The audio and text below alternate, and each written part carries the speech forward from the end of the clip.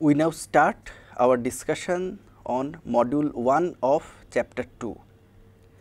In chapter 1, recall that we had defined a measure like function which we called Lebesgue outer measure.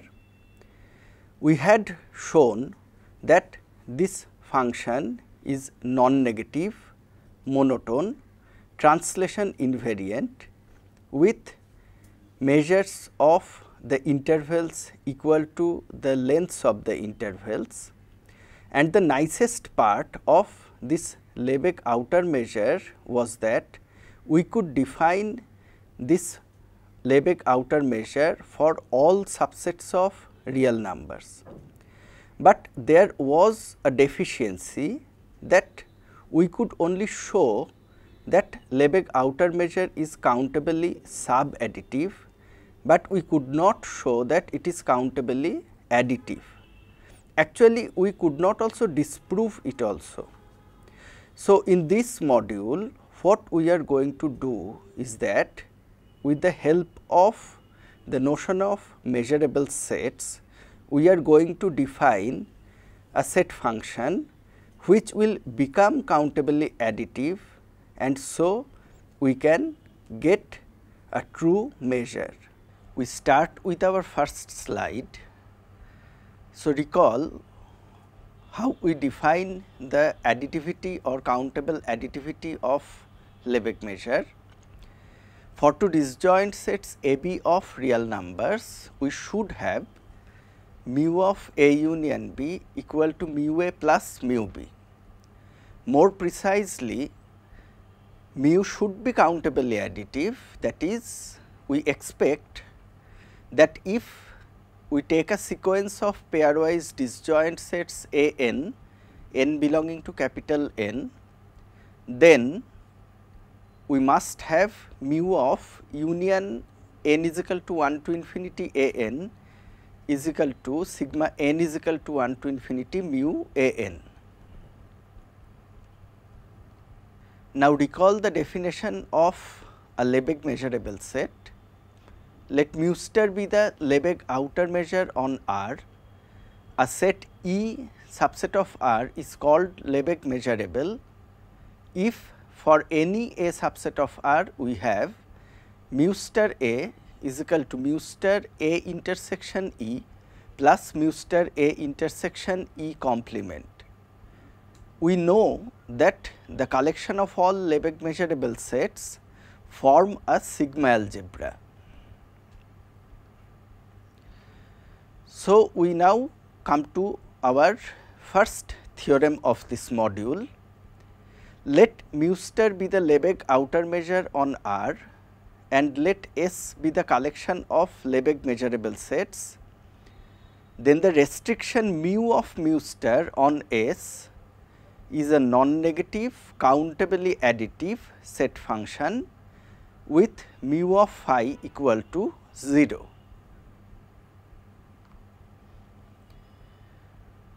From the definition of mu star, it is obvious that mu star is non-negative and since mu is a restriction of mu star, so mu is also non-negative. Also mu of phi equal to 0. So, we have to show that mu is countably additive. If a subset of R and n is a sequence of pairwise disjoint measurable sets, then recall that we had proved that mu star of A intersection union i is equal to 1 to infinity e i, this is equal to sigma i is equal to 1 to infinity mu star of a intersection E i. In this equality, let us put A is equal to union i is equal to 1 to infinity E i. And consequently, we get our desired result that mu star of union i is equal to 1 to infinity E i is equal to sigma i is equal to 1 to infinity mu star E i. So, this shows that mu is countably additive because since each E i is measurable and their union is also measurable, we can write mu instead of mu star. This set function mu is called the Lebesgue measure on R.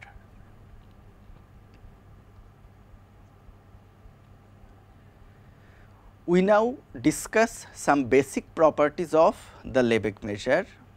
The first property is that the Lebesgue measure mu on R is monotone and subtractive. The proof is very easy and it is given in the course content. The second property which we can prove is that mu is countably additive. That is, if E n is a sequence of Lebesgue measurable sets and E is equal to union i is equal to 1 to infinity E i, then we should have mu of E is less or equal to sigma i is equal to 1 to infinity mu of E i. Here the sequence E n is not necessarily pairwise disjoint. Now, we go to our next result which we will be using in the later chapters. Let mu be the Lebesgue measure on R. Let E 1 subset of E 2 subset of E 3 be an increasing sequence of measurable sets. Then mu of limit n E n is equal to limit n tends to infinity mu of E n, where the limiting set E n that is limit n tends to infinity E n is defined as the union of all E n. That is, we are going to prove that if I have an increasing sequence of measurable sets, then the measure of their union is obtained as the limit or supremum of the monotonically increasing sequence of real numbers mu e n. And we say that the Lebesgue measure mu is continuous from above. So, let us see the proof let E 1 subset of E 2 subset of E 3 etcetera be an increasing sequence of measurable sets without any loss of generality. Let us put E 0 is equal to phi. Then mu of union i is equal to 1 to infinity E i. The union can be written in this form mu of union i is equal to 1 to infinity e i minus e i minus 1. That is we first take the set E 0, then E 1 minus E 0, then E 2 minus E 1, then E 3 minus E 2, so that the sets become pairwise disjoint and we can then apply the countable additivity of the Lebesgue measure and we get the right hand side that this is equal to sigma i is equal to 1 to infinity mu of e i minus e i minus 1, but this is equal to limit n tends to infinity sigma i is equal to 1 to n mu of e i minus e i minus 1 because we know that the sum of an infinite series is the limit of the partial sums. But since these E i minus E i minus 1 are pairwise disjoint and the union of the first n sets is equal to E n. So, again by the additivity of Lebesgue measure we have this sum is equal to mu of E n. So, on the right hand side we have limit n tends to infinity mu of E n. We now continue theorem 3 with another assertion. Let mu be the Lebesgue measure on R. Let E1 contains E2 contains E3 be a decreasing sequence of measurable sets such that at least one Ek has finite measure. Then also we will have the same property that mu of limit n tends to infinity E n equal to limit n tends to infinity mu E n where the limiting set n is defined as the intersection of the sets E n. So, again we have the same type of property that if I have a decreasing sequence of measurable sets, then their intersection will have the measure equal to the limit or infimum of the monotonically decreasing sequence of real numbers mu e n. We say that mu is continuous from above. Now, see the proof. So, without any loss of generality, let us assume that mu of E 1 is less than infinity. So, the first set has measure less than infinity. Now, mu of E 1 minus mu of intersection E n, if we consider this difference, then since the Lebesgue measure is subtractive, so this is equal to mu of E 1 minus intersection n equal to 1 to infinity E n and this is equal to mu of union n equal to 1 to infinity E 1 minus E n by De Morgan's law. Now, see that since the sequence E n is monotonically decreasing and each set is contained in the first set E 1. So, the difference sets E 1 minus E n is a monotonically increasing sequence and we have already proved that the Lebesgue measure is continuous from below. So, this is equal to limit n tends to infinity mu of E 1 minus E n and again by subtractivity of the Lebesgue measure we have limit n tends to infinity mu of E 1 minus mu of E n, but mu of E 1 is a constant. So, this is equal to mu of E 1 minus limit n tends to infinity mu of E n.